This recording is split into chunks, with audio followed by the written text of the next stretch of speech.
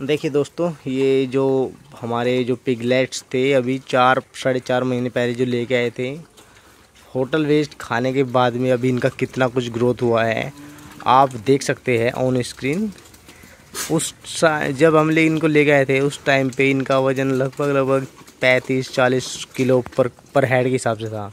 पैंतीस किलो, चालीस किलो। लेकिन अभी ये होटल वेस्ट कर रही है। हालाँकि बीच में एक बार डिसकंटिन्यू ज़रूर हुआ था होटल वेस्ट जिसके चलते इनका जो ग्रोथ था वो थोड़ा सा रुक गया था। हालाँकि उसके बाद में प्रॉपरली इनको ये फ़ीड मिल रहा है, जिसके चलते इनका काफ़ी अच्छा खासा ग्रोथ हुआ है। देखिए, ये सारे यही है और ये हमारा कागरा पिक लोडिंग स्टेशन आप देख सकते हैं। जैसा कि कुछ जगहों पर आप जानते भी हैं, कुछ डिज़ीज़ है अफ्रीकन स्वाइन फ्यूर के नाम से।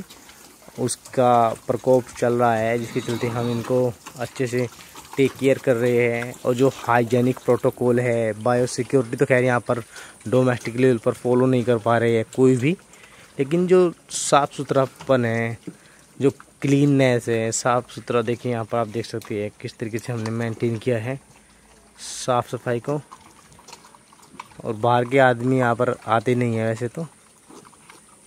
तो देखिए यहाँ पर किस तरीके का बंदोबस्त है और कैसा कुछ इनका फ़ीड का रिज़ल्ट है, वो आप देख सकते हैं ऑन स्क्रीन